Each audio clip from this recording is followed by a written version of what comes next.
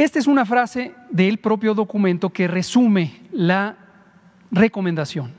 Y como pueden ver, dice que antes de implementar una estrategia para vacunar niñas, niños y adolescentes, hay que considerar alcanzar una cobertura alta de esquemas primarios y refuerzos y refuerzos según se requiera para optimizar el impacto de las vacunas en los grupos de mayor prioridad como las personas adultas mayores. Es inconfundible la recomendación de la OMS en este sentido.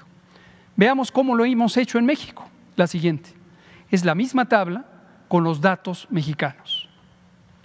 Adultos mayores, personal de salud, que tenemos coberturas de 87% del esquema primario, 53 y 84% en los refuerzos. Hemos avanzado muy bien en este segmento. De prioridad alta, esquema primario 98%, personas de 50 a 59. Llevamos menos tiempo con el refuerzo, pero ahí vamos avanzando, ya llevamos 11%.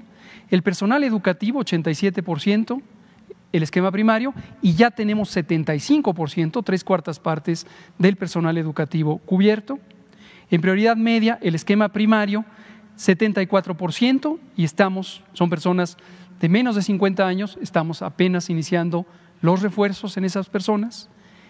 Y prioridad baja, y no obstante que sea prioridad baja, nosotros ya incorporamos hace mucho tiempo niños, niñas, adolescentes de bajo riesgo, las personas saludables.